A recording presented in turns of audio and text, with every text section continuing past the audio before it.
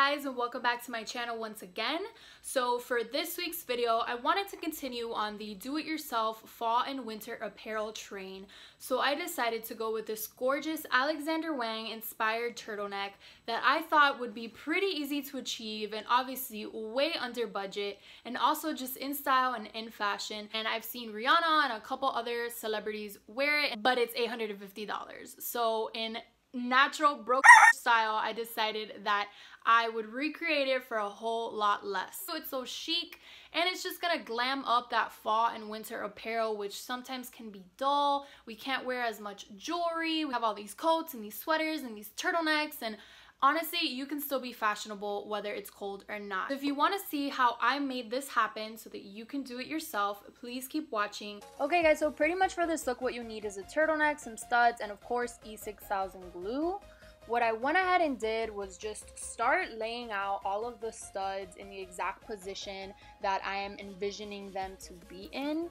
For me, this just makes it so much easier when I actually start applying it just because I already kind of have laid out that framework of how I want the look to appear.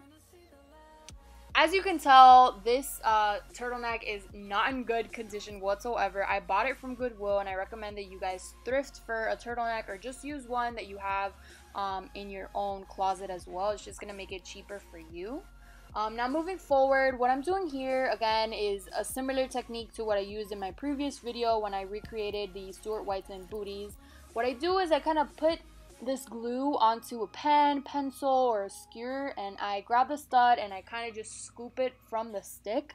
I find it to be so much easier for whatever reason to do it this way than to just get the product straight out of the tube. As you can see from that previous clip, um, the glue is very sticky, it's very stringy, and it just has a, a, difficult consistency to work with when you're, you're taking it straight out of the tube.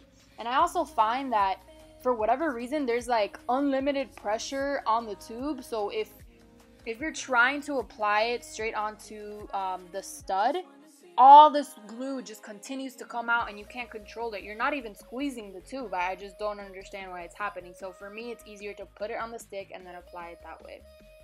As far as washing goes, I would still recommend washing it by hand, although the glue claims that it is machine washable friendly.